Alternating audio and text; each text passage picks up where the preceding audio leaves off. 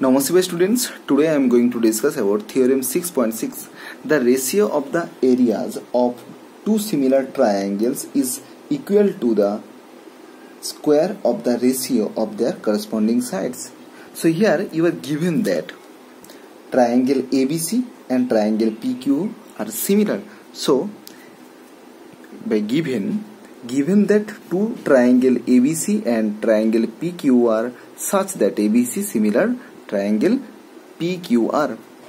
Now to prove area of ABC by area of PQR equals to AB by PQ whole square equals to BC by QR whole square equals to CA by RP whole square.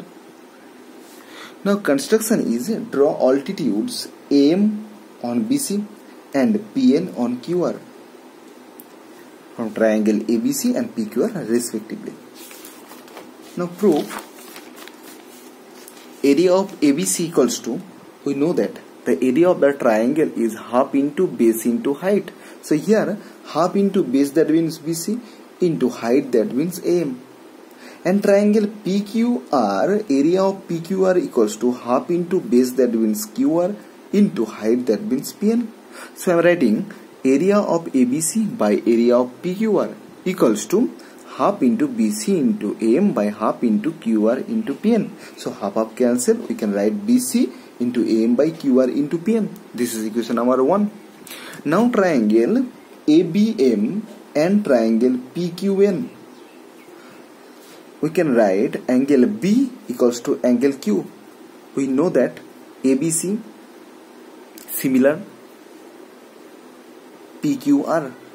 The triangle ABC similar triangle PQR. And the triangle M, sorry, the angle M and angle N are equal because each is of 90 degree. So here I am writing triangle ABM similar triangle PQN by angle angle similarity criterion.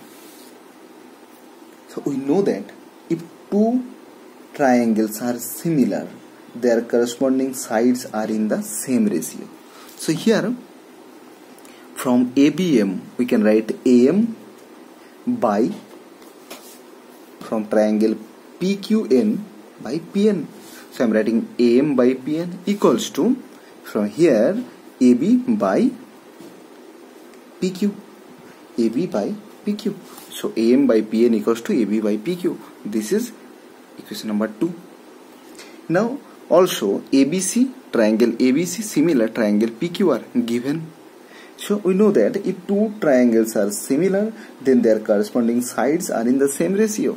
So here I am writing AB by PQ equals to BC by QR BC by QR equals to CA by RP so here I am writing this. This is equation number 3 now from 1 equation number 1 area of ABC by area of PQR equals to here we can use this identity.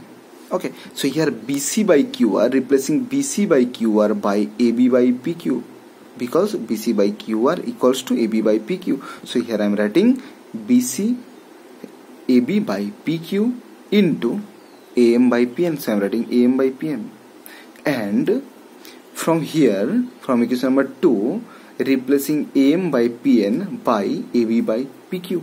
So here AB into AB is AB square by PQ into PQ is PQ square. Now using 3 we get area of ABC by area of PQR equals to AB by PQ whole square equals to BC by QR whole square equals to CA by RP whole square proved. Now question number 8 is ABC and BDE are in two equilateral triangle such that D is a midpoint of BC. Ratio of the areas of triangles ABC and BDE. So here I am drawing this is ABC triangle ABC and D is the midpoint of BC and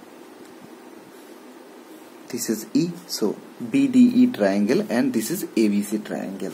So we are given BD equals to half into BC so by previous theorem we can write area of ABC by area of BDE equals to BC square BC square by BD square equals to we know that BC equals to 2 into BD